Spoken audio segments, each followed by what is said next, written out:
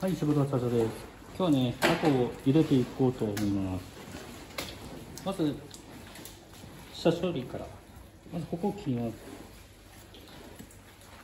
よくタコって、皆さん、ここ、頭頭って呼ぶんだけど、ここはね、本当胴体の内臓ですから。これはエラ。まず内臓を外していきます。でタコをね茹でるときはやっぱり一回冷凍した方がぬめりも少なくなるし柔らかくなるんでぜひね家庭でやるときの生のタコを買ったときは一回冷凍してそれから茹でたりしてやってもらえばいいのかなと。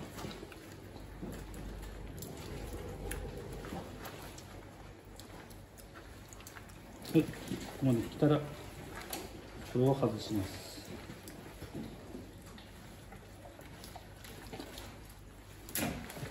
はい、内臓が外れました。で目ですね。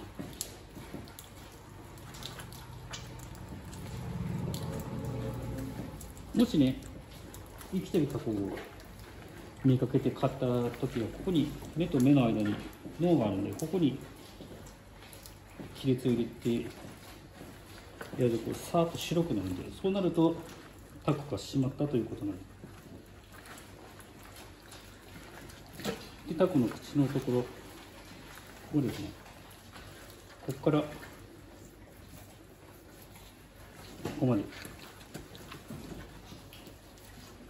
でででここまでやっていきます。はい、ここは塩もみをしているところですね。や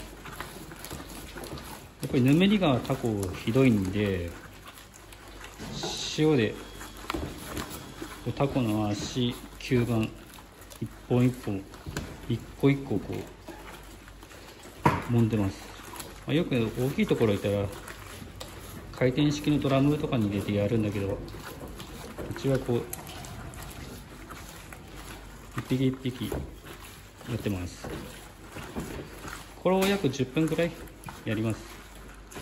そうするとぬめりも取れてきれいになります。はいそれではねこれからね茹でていきます。茹でる時のねこう家庭でやる時ドボンとドンと入れるんじゃなくてゆっくりこう足の足をねちょっとちょっとずつ。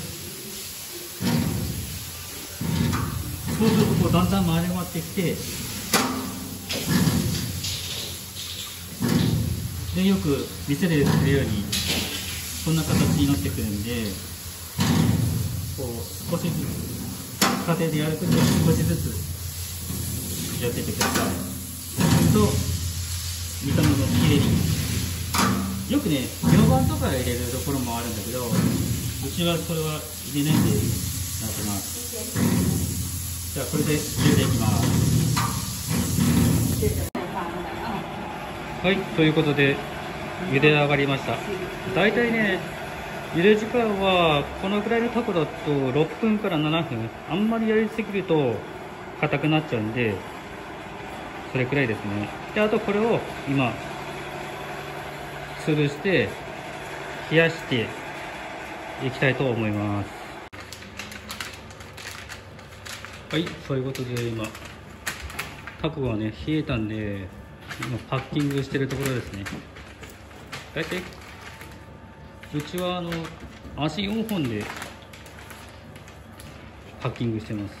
こんな感じで。